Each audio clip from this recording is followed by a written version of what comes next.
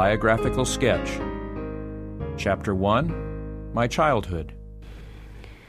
I was born at Gorham, Maine, November 26, 1827. My parents, Robert and Eunice Harmon, were for many years residents of this state. In early life, they became earnest and devoted members of the Methodist Episcopal Church. In that church they held prominent connection and labored for the conversion of sinners, to build up the cause of God for a period of forty years. During this time they had the joy of seeing their children, eight in number, all converted and gathered into the fold of Christ. Their decided Second Advent views, however, led to the separation of the family from the Methodist Church in the year 1843. When I was but a child, my parents removed from Gorham to Portland, Maine. Here, at the age of nine years, an accident happened to me which was to affect my whole life. In company with my twin sister and one of our schoolmates, I was crossing a common in the city of Portland when a girl about thirteen years of age, becoming angry at some trifle, followed us, threatening to strike us. Our parents had taught us never to contend with anyone, but if we were in danger of being abused or injured, to hasten home at once. We were doing this with all speed, but the girl followed us as rapidly with a stone in her hand. I turned my head to see how far she was behind me, and as I did so, she threw the stone, and it hit me on the nose. I was stunned by the blow and fell senseless to the ground. When consciousness returned, I found myself in a merchant's store. My garments were covered with blood, which was pouring from my nose and streaming over the floor. A kind stranger offered to take me home in his carriage, but I, not realizing my weakness, told him that I preferred to walk home rather than soil his carriage with blood. Those present were not aware that my injury was so serious and allowed me to do as I wished, but after walking only a few rods, I grew faint and dizzy. My twin sister and my schoolmate carried me home. I have no recollection of anything further for some time after the accident. My mother said that I noticed nothing, but lay in a stupor for three weeks. No one but herself thought it possible for me to recover, but for some reason she felt that I would live. A kind neighbor who had been very much interested in my behalf at one time thought me to be dying. She wished to purchase a burial robe for me, but my mother said, Not yet, for something told her that I would not die. When I again roused to consciousness, it seemed to me that I had been asleep. I did not remember the accident and was ignorant of the cause of my illness. As I began to gain a little strength, my curiosity was aroused by overhearing those who came to visit me say, What a pity! I should not have known her, and so forth. I asked for a looking glass, and upon gazing into it, was shocked at the change in my appearance. Every feature of my face seemed changed. The bones of my nose had been broken, which caused this disfigurement. The thought of carrying my misfortune through life was insupportable. I could see no pleasure in my existence. I did not wish to live, and yet feared to die, for I was unprepared. Friends who visited us looked with pity upon me and advised my parents to prosecute the father of the girl who had, as they said, ruined me. But my mother was for peace. She said that if such a course would bring me back my health and natural looks, there would be something gained. But as this was impossible, it was best not to make enemies by following such advice. Physicians thought that a silver wire might be put in my nose to hold it in shape, this would have been very painful, and they feared it would be of little use, as I had lost so much blood and sustained such a nervous shock that my recovery was very doubtful. Even if I revived, it was their opinion that I could live but a short time. I was reduced almost to a skeleton. At this time I began to pray the Lord to prepare me for death.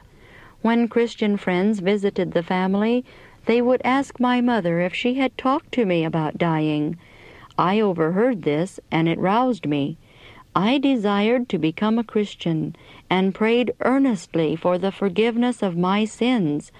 I felt a peace of mind resulting, and loved everyone, feeling desirous that all should have their sins forgiven and love Jesus as I did. I well remember one night in winter when the snow was on the ground. The heavens were lighted up. The sky looked red and angry and seemed to open and shut, while the snow looked like blood. The neighbors were very much frightened. Mother took me out of bed in her arms and carried me to the window. I was happy. I thought Jesus was coming, and I longed to see him. My heart was full. I clapped my hands for joy and thought my sufferings were ended. But I was disappointed. The singular appearance faded away from the heavens, and the next morning the sun rose the same as usual. I gained strength very slowly. As I became able to join in play with my young friends, I was forced to learn the bitter lesson that our personal appearance often makes a difference in the treatment we receive from our companions. At the time of my misfortune, my father was absent in Georgia. When he returned, he embraced my brother and sisters, and then inquired for me. I, timidly shrinking back, was pointed out by my mother, but my own father did not recognize me.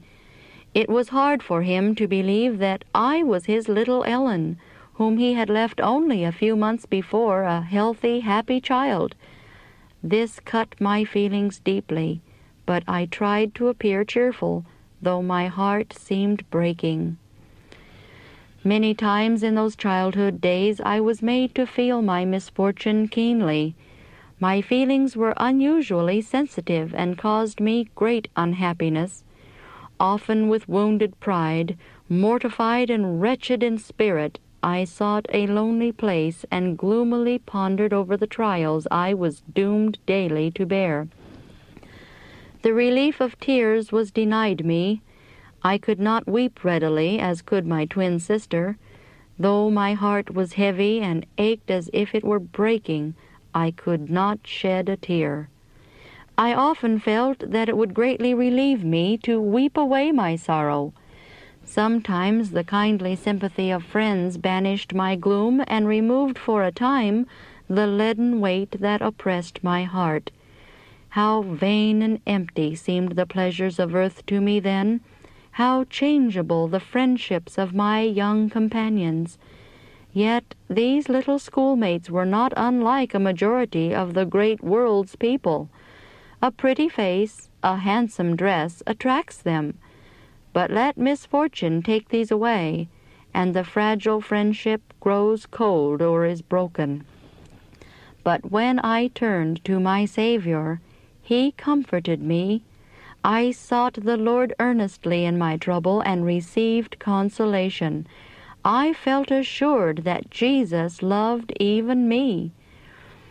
My health seemed to be hopelessly impaired. For two years I could not breathe through my nose, and was able to attend school but little.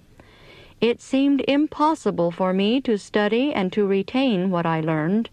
The same girl who was the cause of my misfortune was appointed monitor by our teacher, and it was among her duties to assist me in my writing and other lessons. She always seemed sincerely sorry for the great injury she had done me, although I was careful not to remind her of it. She was tender and patient with me, and seemed sad and thoughtful as she saw me laboring under serious disadvantages to get an education. My nervous system was prostrated, and my hand trembled so that I made but little progress in writing, and could get no further than the simple copies in coarse hand. As I endeavored to bend my mind to my studies, the letters on the page would run together. Great drops of perspiration would stand upon my brow, and a faintness and dizziness would seize me. I had a bad cough, and my whole system seemed debilitated. My teachers advised me to leave school and not pursue my studies further till my health should improve. It was the hardest struggle of my young life to yield to my feebleness and decide that I must leave my studies and give up the hope of gaining an education. Three years later, I made another trial to obtain an education, but when I attempted to resume my studies, my health rapidly failed, and it became apparent that if I remained in school, it would be at the expense of my life. I did not attend school after I was 12 years old. My ambition to become a scholar had been very great, and when I pondered over my disappointed hopes and the thought that I was to be an invalid for life, I was unreconciled to my lot and at times murmured against the providence of God in thus afflicting me. Had I opened my mind to my mother, she might have instructed, soothed, and encouraged me. But I concealed my troubled feelings from my family and friends, fearing that they could not understand me. The happy confidence in my Saviour's love that I had enjoyed during my illness was gone. My prospect of worldly enjoyment was blighted, and heaven seemed closed against me.